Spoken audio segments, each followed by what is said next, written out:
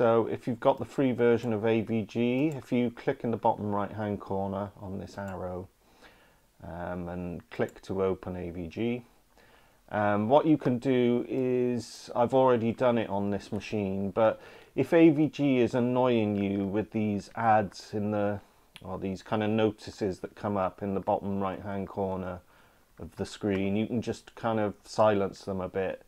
So what you do is you click on menu, and then you go settings, um, and then there's notifications, and you can turn off some of these or untick some of these items which could copy these settings. I like to have the the tray icon enabled.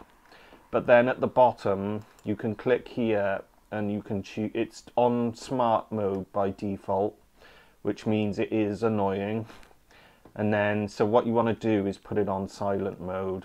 And then that blocks up uh, it blocks all these messages and notifications. So it makes AVG a lot better.